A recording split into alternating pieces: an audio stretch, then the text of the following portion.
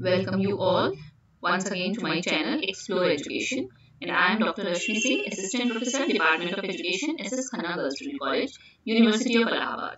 This is my email ID and lecture will be in bilingual mode that is beneficial for both Hindi as well as English medium students. Subscribe my channel to get updated in the field of educational psychology mainly and to get my future videos and the topic we are going to discuss today is cooperative learning and the video will be useful for certain teaching examinations. So let's start. First of all, concept. Cooperative learning से समझते क्या है cooperation क्या है educational psychology के क्षेत्र में कहीं कहीं कोऑपरेटिव लर्निंग आपको कोलेबोरेटिव लर्निंग के रूप में मिलेगी मतलब कोऑपरेशन से जो लर्निंग बनी है तो क्या इसका मतलब है? कहाँ से कंसेप्ट आया? कंसेप्ट का क्या मतलब है? There are three ways in which student student interaction be structure in classrooms मतलब आप कक्षा कक्ष में विद्यार्थी और विद्यार्थी के बीच के इंटरेक्शन को तीन तरीकों से मेनली हम क्लासीफाई कर सकते हैं स्ट्रक्चर कर सकते हैं, संरचना बना सकते हैं उसकी क्या? कॉम्पिटिटिवली इंडिविजुअलिस्टिकली एंड कोऑपरेटिवली या तो वो एक दूसरे से कॉम्पिटिशन के मोड में हो या अकेले अकेले हो उनका एक का दूसरे से कोई अर्थ ना हो कोई मतलब ना हो कोई सरोकार ना हो और तीसरा कि वो एक दूसरे से सहयोगात्मक रवैये में हो इन विच cooperative student interaction will produce best results. It has been shown by various researches. इसमें ये पाया गया है कि जब हम cooperative student interaction को, structure करते हैं क्लास में तो वो best result देता है ओके देन कोऑपरेटिव लर्निंग क्या है? It is an educational approach ये एक शैक्षिक उपागम है, which aims to organize classroom activities into academic and social learning experiences. यानी कि ये एक ऐसा शैक्षिक उपागम है, जिसका उद्देश्य क्या है? कक्षा कक्ष की जो गतिविधियाँ हैं, हम उनको इस तरीके से संगठित करें, जिससे जो स्टूडेंट है, उसको हम शैक्षिक और सामाजिक अधिगम अनुभव दे सकें। Okay it is sometimes thought simply as group work कभी कभी ये मान लिया जाता है, ये मिथ है इसका, कि कोऑपरेटिव या कोलैबोरेटिव लर्निंग का मतलब है कि बच्चों को हम ग्रुप वर्क में काम दे रहे हैं तो वो उसका मतलब कि वो कोलैबोरेटिव या कोऑपरेटिव लर्निंग हमने कर लिया है। But groups of students working together might not be working collaboratively लेकिन ये भ्रम हमको अपने मन में नहीं पालना चाहिए। हो सकता है कि बच्चे जो हैं, विद्यार्थी जो हैं, वो समूह में काम कर रहे हों, लेकिन तब भी वो कोलैबोरेटिवली ना कर रहे हो। इसका मतलब कि जो कोलैबोरेटिव या कोऑपरेटिव लर्निंग है it is not merely a group work है ना? ये सिर्फ़ समूह में काम करने का नहीं है, कुछ इससे बेहतर है, कुछ इससे अधिक है, क्या बेहतर अधिक है? It involve students working together इसका मतलब है कि बच्चों को साथ में काम करना है, छात्रों को साथ में काम करना है। किसके लिए? टू अकॉम्प्लिश शेयर्ड गोल्स उस उद्देश्य के लिए, उस लक्ष्य की प्राप्ति के लिए जो सबका है, जो सबके बीच में सहभागिता है उसकी। यानी कि सिर्फ़ मेरा गोल नहीं हो आपका भी गोल है, वो आपका भी गोल है, इसलिए सब लोग शेयर्ड गोल की तरफ़ काम करेंगे. And it is this sense of interdependence that motivate group members to help and support each other और जब सबको पता है कि लक्ष्य हमको समेकित है एक ही लक्ष्य के लिए सभी लोग काम कर रहे हैं तो हम मोटिवेट uh, होते हैं ग्रुप मेंबर्स एक साथ काम करने के लिए एक दूसरे को हेल्प करने के लिए एक दूसरे को सपोर्ट करने के लिए. ओके okay, जबकि यहाँ पे ये डिस्कस करने का बिंदु नहीं है लेकिन मैं आपको बता दूँ कि जो कॉम्पिटिटिव जहाँ स्टूडेंट स्टूडेंट इंटरेक्शन होता है वहाँ नेगेटिव इंटरडिपेंडेंस होता है. मतलब उसका मतलब होता है कि मैं तभी जीतूँगी जब आप हारेंगे. इंडिविजुअलिस्टिक का मतलब होता है कि मैं जीत रही हूँ, आप हार रहे हैं, नहीं जीत रहे हैं, उससे हमारा कोई मतलब नहीं, कोई सरोकारी नहीं है नो इंटरडिपेंडेंस बट कोऑपरेटिवली का मतलब पॉजिटिव इंटरडिपेंडेंस मतलब मैं आप पे पॉजिटिव यानी कि धनात्मक रूप से आप पर मेरी निर्भरता है, इसका मतलब अगर मैं हारूँगी तो आप भी हार जाएँगे, मैं जीतूँगी तो आप भी जीतेंगे इससे सबको साथ में चलना है. ओके ये इसके पीछे का थीम है. डेफिनेशन हम इसको कुछ परिभाषा से समझने की कोशिश करते हैं. कागन ने कहा कि कोऑपरेटिव लर्निंग टीचर डिज़ाइन ओहो, देखिए स्पेलिंग मिस्टेक जाती है आई एम सो सॉरी जल्दी में टाइप होता है। डिज़ाइन है ये। Teacher design the social interaction structures as well as learning activities यहाँ कह रहे हैं कि जो शिक्षक की भूमिका क्या है? ये हमको सोशल इंटरेक्शन के स्ट्रक्चर को और लर्निंग एक्टिविटीज़ को डिज़ाइन करना है। मतलब किसको हम कौन सी भूमिका देंगे? ग्रुप किसको बनाएँगे? लीडर किसको बनाएँगे? मॉडरेटर किसको बनाएँगे? सपोर्टर किसको बनाएँगे? ये सब शिक्षक को तय करना है, ना कि उसको इन्फॉर्मेशन प्रोवाइड करनी है। देन जॉनसन एंड जॉनसन क्या कह रहे हैं? Cooperative learning students can maximise their own and each others learning when they work together ये कह रहे हैं कि कोऑपरेटिव लर्निंग एक इस प्रकार की लर्निंग है जिसमें विद्यार्थी जो है मैक्सिमाइज करता है मतलब बढ़ाता है अपना भी और दूसरे का भी अधिगम कब जब वो साथ में काम करते हैं। इस प्रकार का जो तरीका है सीखने सिखाने का वो कोऑपरेटिव लर्निंग है। देन कॉटल एंड मिलिस ने 1994 में कहा कि it is a structured form of small group learning यानी कि छोटे समूह में सीखना है जो कि स्ट्रक्चर किया गया है जिसकी संरचना हमने निर्धारित की है। It is based on two key assumptions interdependence और दो इसके जो मुख्य मूलभूत बिंदु है, वो क्या है? Positive interdependence and individual accountability यानी कि मेरी आप पर पारस्परिक जो सहयोगात्मक धनात्मक निर्भरता होगी, पहली बात। और दूसरी बात की इंडिविजुअल भी अकाउंटेबल होगा। मतलब ये नहीं कि ग्रुप में काम कर रहे हैं तो सिर्फ़ ग्रुप में कुछ ही लोग काम कर रहे हैं, बाकी कुछ नहीं कर रहे पैसिव लर्नर की तरह पैसिव स्लीपिंग मेंबर की तरह। नहीं। Everybody has to have some responsibility to be everybody is accountable for the group work, for the shared goal okay and then Slavin ने कहा it is critical critical element of cooperative learning is group team work and team goals यानी कि समूह सामूहिक लक्ष्य समूह की uh, के कारण यही इसका मेन एलिमेंट है। देन हिस्ट्री कहाँ से आया कोऑपरेटिव लर्निंग कब इसके बारे में बात की गई? किसने किसने इसके उत्थान में अपनी भूमिका निभाई है? तो until the mid 1960s cooperative learning was relatively unknown and largely ignored by educators यानी 1960 तक कोऑपरेटिव लर्निंग के बारे में ज़्यादा बात नहीं की गई और ये अननोन था इग्नोर किया गया। और आज भी ये टर्म उतना पॉपुलर नहीं है जितना ब्लेंडेड लर्निंग और डिफरेंशिएटेड इंस्ट्रक्शन पर्सनलाइज्ड इंस्ट्रक्शन ये सारे टर्म है। अभी भी इसको वो लोकप्रियता नहीं मिली जो इसको मिलनी चाहिए थी। Individualistic learning was mainly sideline by BF Skinner's work on program learning and behaviour modification जो इंडिविजुअलिस्टिक लर्निंग की बात थी, उसको तो बीएफ स्किनर साहब ने थोड़ा सा साइड लाइन किया, हटाया रास्ते से। उन्होंने कहा, नहीं नहीं प्रोग्राम लर्निंग पे जब वो काम कर रहे थे बिहेवियर मॉडिफिकेशन पे काम कर रहे थे तो उन्होंने कहा इंडिविजुअलिस्टिक लर्निंग से तो काम नहीं चलेगा। फिर क्या हुआ? फिर जेस्टार्ट स्कूल ऑफ़ साइकोलॉजी आया, जिसमें हम जानते हैं कोलर कोफा ये लोग हैं और जो लोग परसेप्शन पे काम कर रहे हैं होल पे काम कर रहे हैं, इन्होंने सबसे पहले सोशल इंटरडिपेंडेंस पे काम किया। फिर इसी से कर्ट कोफा के सहयोगी रहे कर्ट लिविन, और कर्ट लिविन आपको पता होगा कि कर्ट लिविन ने एक ग्रुप डायनेमिक्स पे बात की है सबसे पहले। He had studied about dynamic whole ये डायनेमिक होल की बात करते हैं क्या डायनेमिक होल है?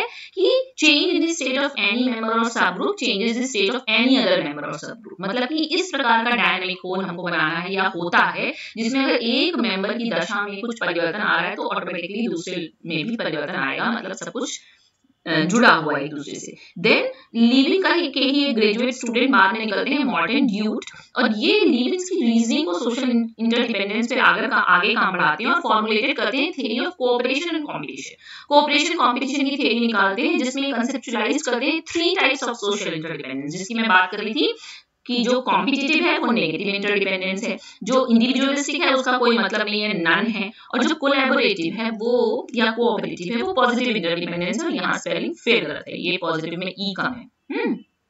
Then, in 1978, Sir James Britton created an active learning procedure known as collaborative learning. Sir James Britton बाद में 1970 में कुछ काम करते हैं एक्टिव लर्निंग प्रोसीजर पे।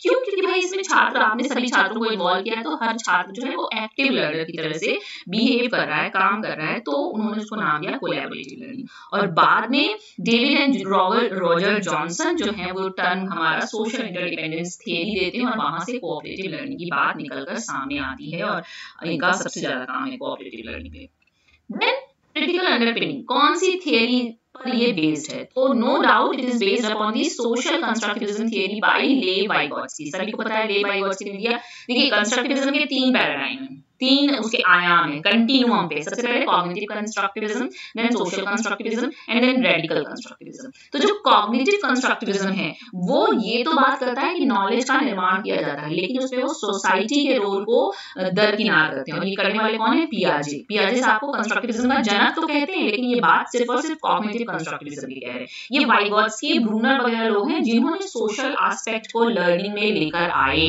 तो the main thing that underpins cooperative learning refers to social constructivism यानी कि सोसाइटी की भूमिका है लैंग्वेज की भूमिका है इंटरेक्शन की भूमिका है कल्चर की भूमिका है okay he consider that the roles of culture in society language and interaction are important in understanding how humans learn इन्होंने कहा कि जो संस्कृति है, जो समाज है, जो भाषा है, जो हमारा आपका संवाद है, वो एक बहुत महत्वपूर्ण रोल प्ले करते हैं कि मनुष्य कैसे सीखता है.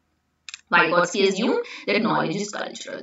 है ना? जबकि अगर हम कॉग्निटिव कंस्ट्रक्टिविज्म के हिसाब से देखेंगे तो वहाँ नॉलेज क्या है? Knowledge is personal but here knowledge is cultural he has asserted that the development of individuals including their thoughts languages and reasoning process is a result of culture वो कहते हैं कि जो व्यक्ति का विकास हो रहा है मतलब उसमें उसके विचार है उसकी भाषा है उसकी सोचने समझने की क्षमता है तार्किक जो है उसकी वो संस्कृति का परिणाम है। These activities are develop through social interaction with others there may represent the share knowledge of human culture मतलब कि ये जो प्रतिक्रियाएँ चल रही हैं वो सोशल इंटरेक्शन से जन्म लेती हैं और इसलिए हम कह सकते हैं कि हम और आप जो भी नॉलेज रखते हैं वो हमारी संस्कृति की शेयर नॉलेज है ना?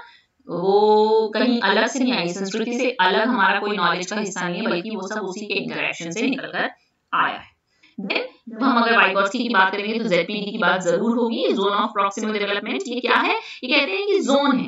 एक वो जोन है जिसमें बच्चा अपने आप सीख रहा है अकेले सीख रहा है किसी के साथ नहीं। और एक जोन वो है जिसमें वो किसी मोर नॉलेजेबल पर्सन के संग है। तो दोनों में अंतर होगा ना? तो यही जो अंतर है वही है जोन ऑफ़ प्रॉक्सिमल डेवलपमेंट यानी कि जो अकेले सीख रहा है वो वहाँ तक सीख सकता है अगर वो किसी अधिक बुद्धिमान अधिक अनुभवी व्यक्ति के साथ हो। है ना? तो देखिए क्या है? It captures the child's cognitive skills that are in the process of maturing and these skills can only be honed with the assistance of more skilled persons यानी ये जो स्किल्स हैं, उनको हम कैसे निखार सकते हैं? जब हम किसी ज़्यादा कुशल व्यक्ति के संगत में होंगे then the process of adjusting the support is called scaffolding देखिए ब्रूनर भी स्कैफोल्डिंग की बात करते हैं और स्कैफोल्डिंग और जेपीडी मोर और लेस सिमिलर है। बस, ये जो सपोर्ट का एडजस्टमेंट है, वो स्कैफोल्डिंग है। It refers to the assistance given to students in completing tasks that they cannot be complete by themselves. मतलब कि इसका क्या मतलब है कि जो टास्क हम assistance given to students in completing task हम विद्यार्थियों को कुछ टास्क दे रहे हैं बनाने के लिए, उसमें जो असिस्टेंस हम प्रोवाइड करते हैं they can not be complete by themselves यानी कि वो जो इस असिस्टेंस के बिना वो नहीं कर पाएँगे, यही स्कैफोल्डिंग है. And then in cooperative learning ZPD and scaffolding place pivotal role यानी कि इनका केंद्रीय भूमिका है हमारी जेडपीडी और स्कैफोल्डिंग की किसमें कोऑपरेटिव लर्निंग में. देन कंपोनेंट्स कौन है वो गुण, वो कंपोनेंट्स वो घटक जो कि किसी ग्रुप एक्टिविटी को कोऑपरेटिव लर्निंग में तब्दील करते हैं? मतलब ग्रुप एक्टिविटी तो कोई भी होती है, हो सकती है, हम क्लास में पूछ रहे हैं कि चार चार स्टूडेंट एक ग्रुप बना लो, ये काम करके ले आओ. It is not cooperative learning what is cooperative learning when it has at least these five components in it first of all positive interdependence यानी कि सबसे पहले ये भाव होना चाहिए कि सबको साथ में जीतना ऐसा नहीं होगा कि आप जीतेंगे मैं हार जाऊँगी या मैं अकेले अकेले जीत जाती हूँ, आपको हारने देती हूँ नहीं। इसकी थीम ही यही है वी विल सिंक और स्विम टुगेदर या तो हम साथ में तैरेंगे या हम साथ में डूबेंगे। इंडिविजुअल अकाउंटेबिलिटी मैंने पहले बताया कि हर इंडिविजुअल को अकाउंटेबल होना है। ऐसा कोई मेंबर नहीं होगा ग्रुप में जिसके पास कोई काम नहीं हो सबके पास काम होगा वो चिन्हित होगा, निर्धारित होगा पहले से और वो उसको करके दिखाना होगा।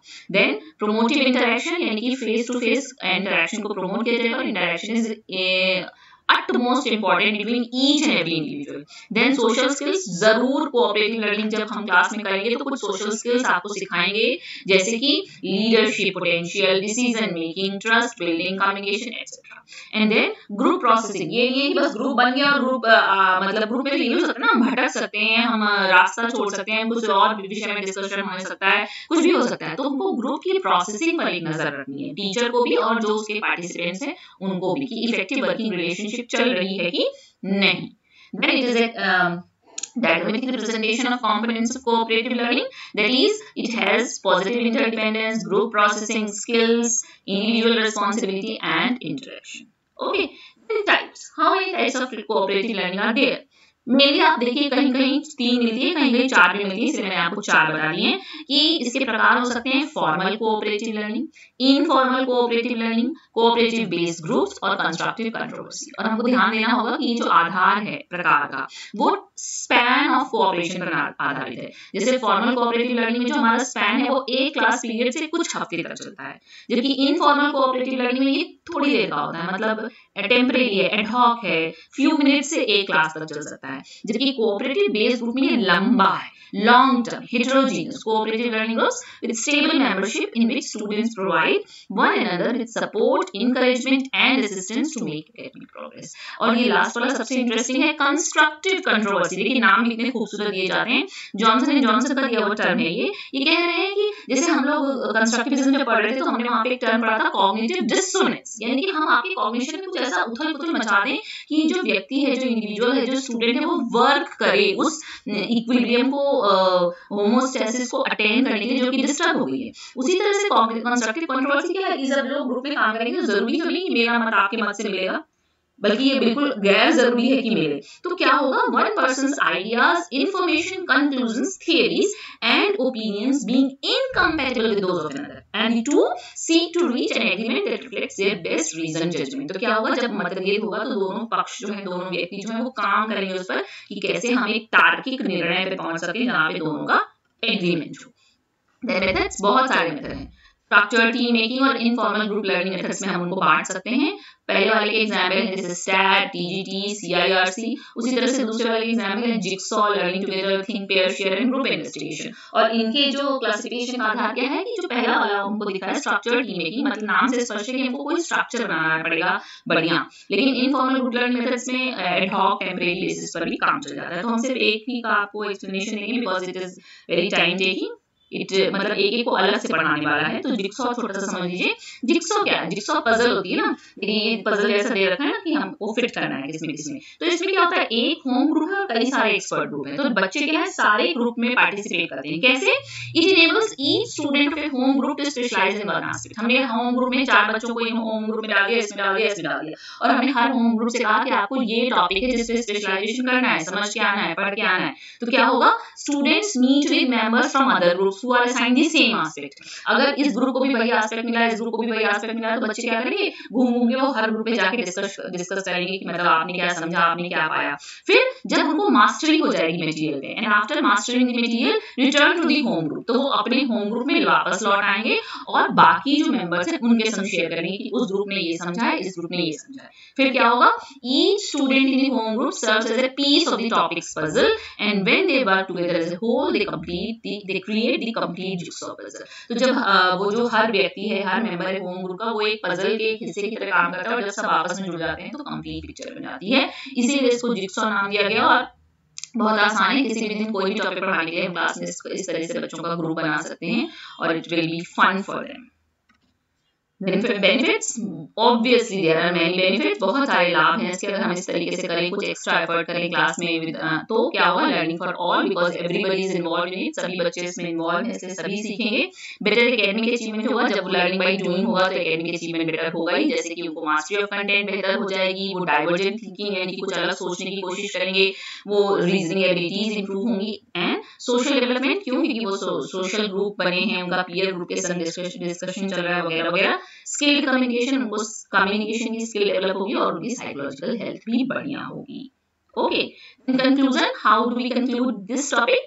Uh, how can we conclude? Cooperative learning is working together to accomplish shared goals within cooperate. मतलब शेयर्ड गोल के लिए हमको काम करना है। गोल जो है वो शेयर्ड है सबके बीच में और कोऑपरेटिव एक्टिविटीज़ में क्या होता है? इंडिविजुअल सीक आउटकम्स हम उस दिशा की तरफ़ काम कर रहे हैं जो सबके लिए फ़ायदेमंद है। और cooperative learning is instructional use of small groups यानी कि छोटे छोटे समूह में बांट के हमको बच्चों को निर्देशन देना है। और जो हर व्यक्ति है हर स्टूडेंट है वो दूसरे की लर्निंग को अपनी और दूसरे की लर्निंग को मैक्सिमाइज करने की दिशा में काम कर रहा है। तो पॉजिटिव इंटरडिपेंडेंस होता है स्टूडेंट्स के गोल्स के बीच में। और ये इस थ्योरी की सबसे खासियत ये है कि जितनी बच्चों के लिए स्टूडेंट्स के लिए, विद्यार्थियों के लिए अच्छी है, उससे ज़्यादा ये फैकल्टी के लिए अच्छी है। हुँ? तो गुड एंड गुड है सब। बस हाँ थोड़ी टाइम टेकिंग है। थोड़ा आपको स्ट्रक्चर करना पड़ेगा, थोड़ा रूटीन वर्क से हटके काम करना पड़ेगा, थोड़ा आपको टाइम की क्राइसिस हो सकती है but it is very good And so, thank you and don't forget to like and subscribe my channel. I have completed a new topic, cooperative learning today. And to find my channel in Telegram group, scan to join Explore Education and join my Telegram group so that you can get learning materials if you ask there. You can ask your query, you can provide me feedback too. I'm in hurry because the battery of my system is declining fastly. Okay, so done from my side.